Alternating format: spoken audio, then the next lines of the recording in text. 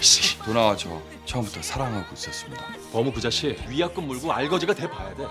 세기 잡아와. 나 혜미 씨 사랑해요. 결혼식장에 들어가기 전까지 아무도 장담을 못한다. 나 결혼 안 한다. 당신 이대로 도둑개처럼 건지 모르겠다. 그 사람이 떠난다는 게 제일 힘들다. 우리 기사 떴다. 저기 그게 이름이 뭐지? 내 딸.